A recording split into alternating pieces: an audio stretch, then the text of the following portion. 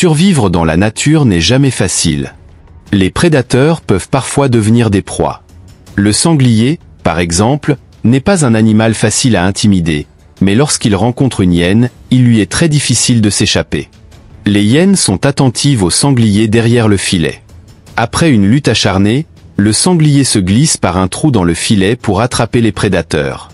Le sanglier coince les hyènes pour les attaquer, mais ces dernières ne sont pas des adversaires faciles. Elles contre-attaquent et prennent l'initiative. La mère du sanglier marche dans la prairie déserte, inconsciente du danger imminent. Profitant de l'occasion, le guépard se précipite sur sa proie, engageant une chasse féroce. Le guépard attrape un marcassin, mais la mère sanglier le charge pour sauver son petit. Subissant ce coup dangereux, le guépard n'ose pas prendre de risques supplémentaires et s'en va. Un léopard guette un marcassin de loin. Il attaque rapidement le sanglier et grimpe rapidement dans un arbre avec sa proie.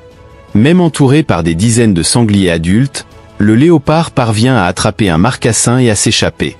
Les lions sont également des chasseurs redoutables. Un lion essaie d'entrer dans un terrier de sangliers et finit par trouver un marcassin.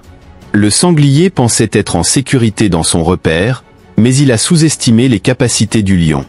Pendant que la mère sanglier est absente, le lion entre dans le terrier et attrape un marcassin. Le lion veut en capturer davantage, mais il n'y parvient pas et ramène fièrement sa proie sur son territoire. Les phacochères, souvent confondus avec les sangliers, sont également des cibles. Bien qu'ils soient de grande taille et dotés de crocs acérés pour se défendre, ils peuvent atteindre une vitesse de 55 km heure sur de courtes distances, ce qui leur permet de s'échapper.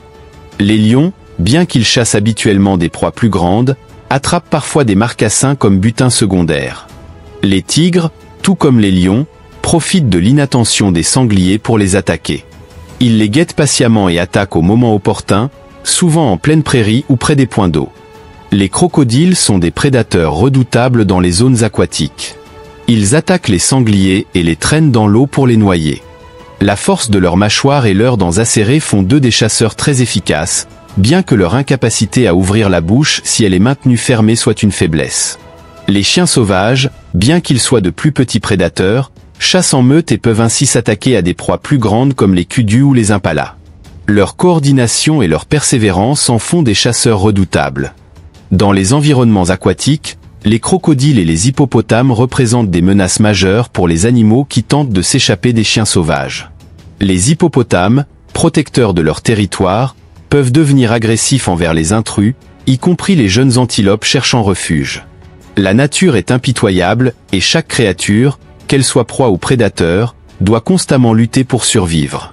Les sangliers et les phacochères, malgré leur force et leur défense naturelle, doivent rester vigilants face aux nombreux dangers qui les entourent.